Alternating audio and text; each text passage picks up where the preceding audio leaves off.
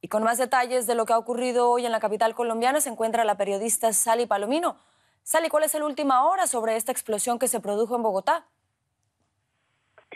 Bueno, según los informes oficiales, 40 personas han sido valoradas por lesiones tras la explosión registrada eh, en la capital colombiana.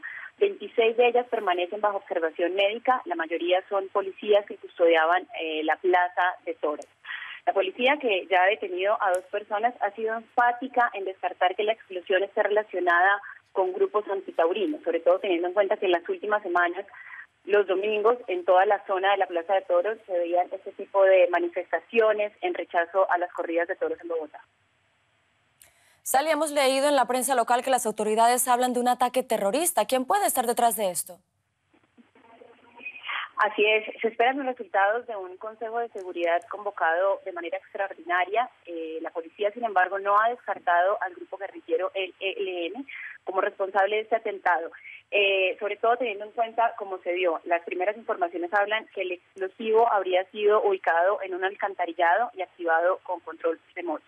Ese es el quinto atentado en Bogotá eh, en los últimos dos meses. Sin embargo, es la primera vez que todas las autoridades se unen y dicen de forma tan clara y tan vehemente que este ha sido un acto terrorista.